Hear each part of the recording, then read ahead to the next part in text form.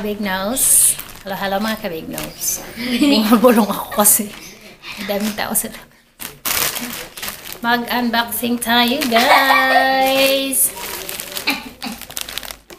Yes, mag-unboxing tayo. Ito ay binili ko sa Lazada. Ano kaya ito na naman? Akala ko hindi na ako bibili-bili this year. So, let's go. Buksan na natin.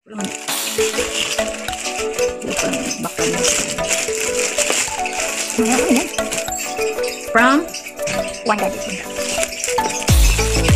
Ang murag ligit pa rin mo. Ligit yung story. Kaya meron pong lain ganyan. Kasi.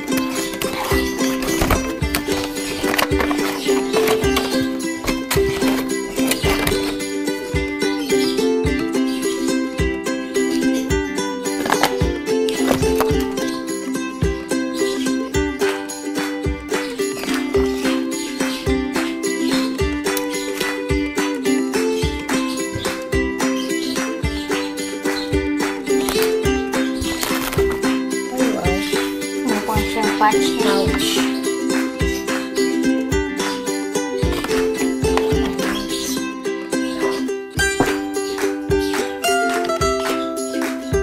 Boya. So you can.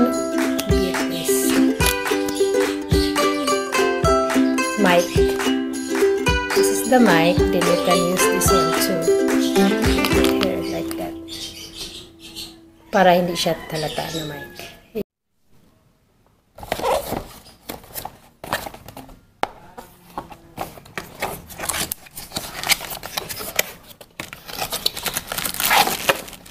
Oh, maganda siya. Maganda siya. That is very good. Ayan. Tapos, taga- taas pa to. Ah, ganyan lang siya talaga. Para ganyan.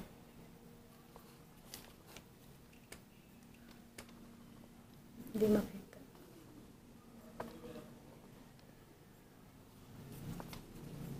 Guys, yung gagawin nyo, pwede nyo siyang i-bend, ganyan, oh. Or ilagay nyo sa kung saan nyo gusto siya, no. Ang ganda, napaka good quality, guys. Para din ako nagmimitay, di ba? Din balik nyo lang. Murag gorilla na naman. Urang parang gule, go o gorilla pa. Parang ganun Stand. siya. Kasi kahit stand mo ng ganyan, diretso mo or da kaya ilagay mo sa bintana na nakasabit na ganyan, pwede siya. Flexible. So cool.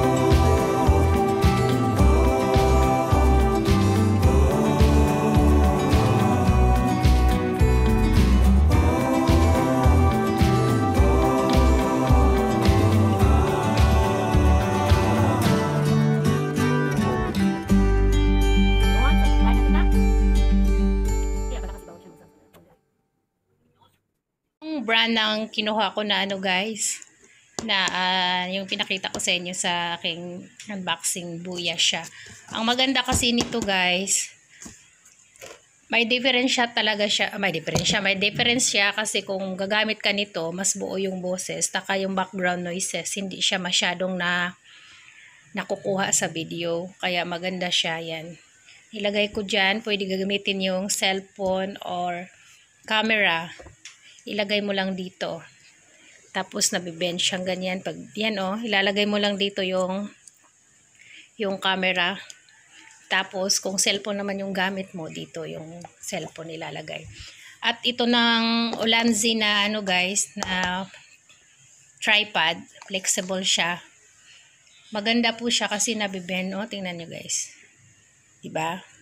So kahit saan mo siya ilagay or isabit, pwedeng pwede siya. Kasi magaganyan nyo siya tapos ibalik nyo lang. Kaya goodbye po siya at ang ganda po ng quality nito. Kasi ngayon lang ako nakabili ng medyo good quality kasi lamya kasi lagi yung nabibili ko kasi masyadong mura. Tapos iba, ilalagay ko na lang po sa screen kung magkano yung price nito. Itong boya na microphone at saka itong aking tripod. Sa Lazada ko lang po ito nabili guys uh, maganda to. Kasi makita mo talaga yung difference eh. Katulad ngayon, wala akong ano, uh, hindi ako nagaga, uh, sana hindi ako nagamit ng mic.